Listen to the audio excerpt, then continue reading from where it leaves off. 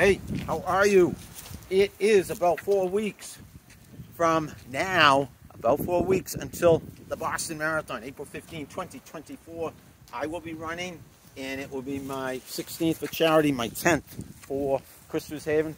Christopher's Haven, ridiculously awesome nonprofit organization that provides housing for families and kids who come from all over the world to stay there while the kids are undergoing cancer treatment in nearby hospitals.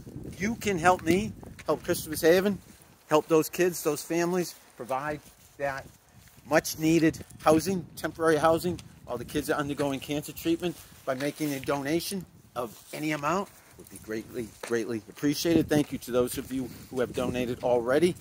The link to my fundraising page will be in the text that accompanies this video. And I will very, very, very much appreciate your support. I am grateful to be able to be running Boston yet again.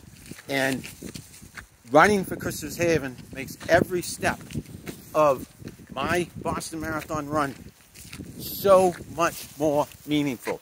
I will go the 26.2 mile distance from Hopkinton to Boston, thinking of all the kids, all the families who stay at Christopher's Haven, people who work there, who volunteer there, and you, you who are supporting me, who are helping me help Christopher's Haven, help the kids and families who stay there.